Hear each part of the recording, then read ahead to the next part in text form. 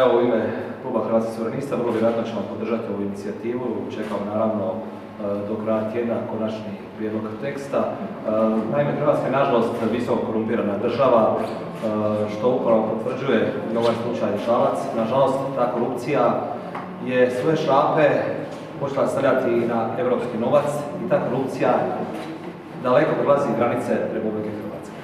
Još veći problem u tome što je Gabriela Žalac igrač Andreja Plenkovića. Ona je igrala u njegovom timu, ona je bila njegov osobni izbor.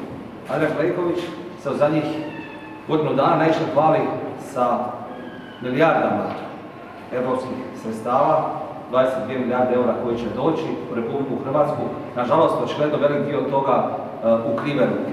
Dok s jedne strane imamo na stotine poštenih obrtnika, jedinica lokalne samouprave koje se trude preko SAP-ova ostvariti odraditi određene kriterije kako bi došli do europskog novca, imamo očigledno privilegirane stranačke podobne osobe koji preko noći dolaze do milijunskih iznosa.